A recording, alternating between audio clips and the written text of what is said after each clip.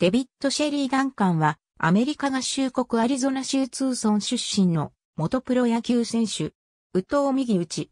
現在は MLB のシカゴホワイトソックスのアナリティクスコーディネーターを務める。父のデーブ・ダンカンは元捕手のメジャーリーガー、弟のクリス・ダンカンもメジャーリーガーという野球一家である。アリゾナ大学時は大学オールアメリカン PAC-10 オールスターに選ばれるなど活躍した。2001年の MLB ドラフト2巡目でニューヨークヤンキースから指名され、プロ入り。2005年、参加の AA 級、トレントン・サンダーでリーグトップの32本塁打、92打点を記録した。イースタンリーグのオールスターゲームにも出場し、ホームランダービーで優勝している。翌2006年も打率351、19本塁打と好成績を残す。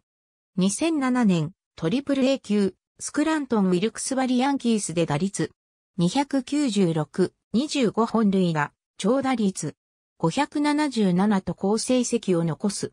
ジェイソン・ジアンビの故障などのチーム事情もあり、シーズン途中でメジャー昇格を果たす。7月20日のタンパベイデビルレイズ戦に指名打者としてメジャーデビュー。初安打、初打点を記録すると、翌日の試合では初本塁打、翌々日には2本塁打を放つ。昇格後10試合で5本塁打と、当時通算505本塁打を前に、金縛り状態にあったアレックス・ロドリゲスを尻目に、チームを救う活躍を見せた。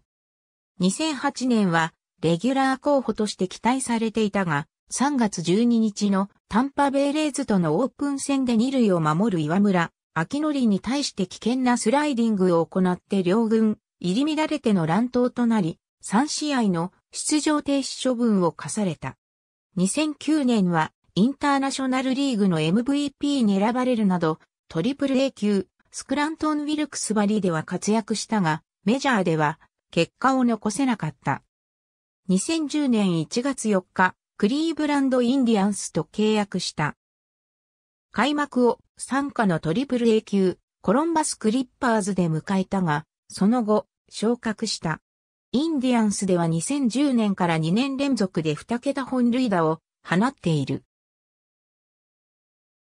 2012年8月29日にディーフとなった後は、参加のトリプル A 級ダーラムブルズへ配属された。レギュラーシーズン終了後の10月9日に FA となった。2013年1月22日にレーズとマイナー契約を結んだ。開幕ロースター入りを果たしたが、4月30日にディーフとなった後は、参加のトリプル A 級ダーラムブルズへ配属された。レギュラーシーズン終了後の10月11日に FA となった。